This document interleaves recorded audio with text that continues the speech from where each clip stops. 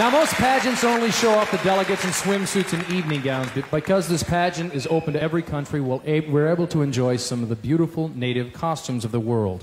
To the sound of the international recording artist Sunland, let's take a look.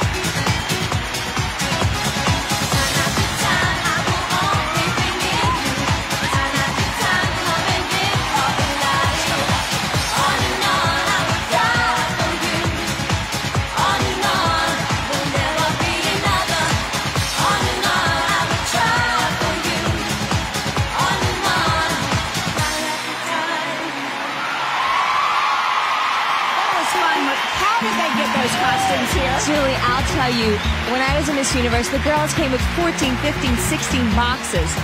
They deserve a packing award, I think. Award. These you things will start a scholarship for the packing award. you could start that. All right, still to come. The tension is building. The cut to the final three. Which way to the luau? Kan du säga mig vägen till luau? Lua? Is it lua? Lua? By luau.